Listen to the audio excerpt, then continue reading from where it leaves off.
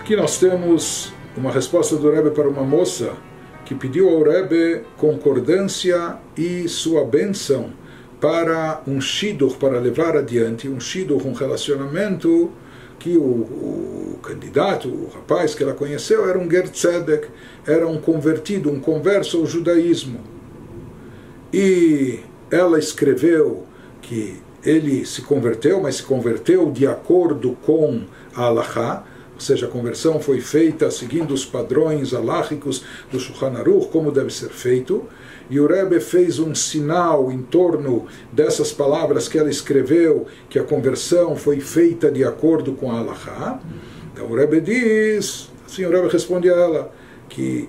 com essa condição, número um, que conforme você diz, de, de fato seja assim, que a conversão é alahicamente correta e aceita. E número dois, Nivgeshai Yoter Beit Pamim Vedata Kanal, que você já teve mais do que eh, dois encontros sérios depois de um conhecimento superficial, você já teve dois, pelo menos dois encontros profundos, etc., que puderam, ou mais, é, que pudessem dar a ela eh, a certeza da compatibilidade, do, enfim, do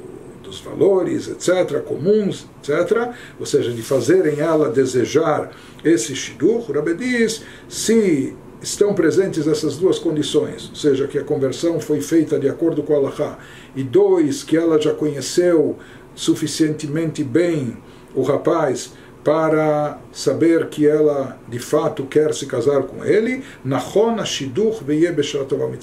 Então o Rebbe diz, então nesse caso, é um Shiduch apropriado e que seja em boa e bem sucedida hora.